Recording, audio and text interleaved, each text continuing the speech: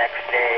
And then we have some free time, so we can have dinner together or look out the window, and then we go to bed around, let's say, 9.30, 10. Um, there's no uh, a big difference between night and day. Uh, we orbit around the Earth in 90 minutes.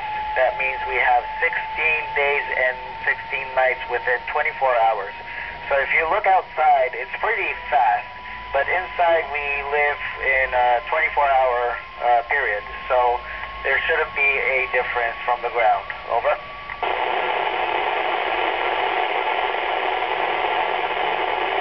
That's a very good question.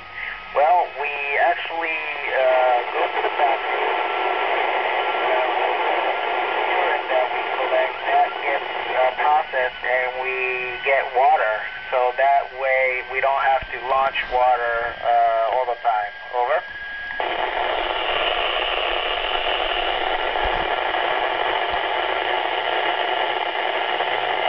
Yes, uh, we actually had some in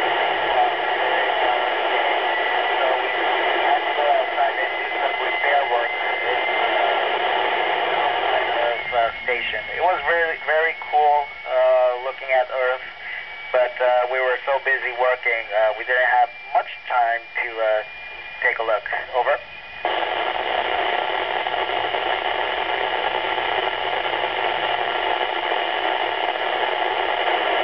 We train along for a couple of years together, so it's like we're all a family. So up here we have six crew members working and living together, just like family.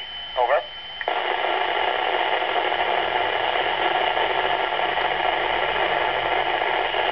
I think it's like 25, 26 uh, degrees Celsius, maybe. Uh,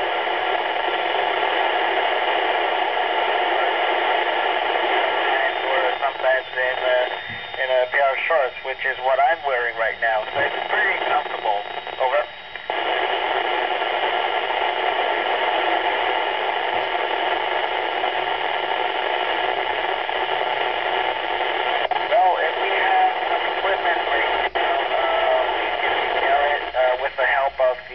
Mission control, 10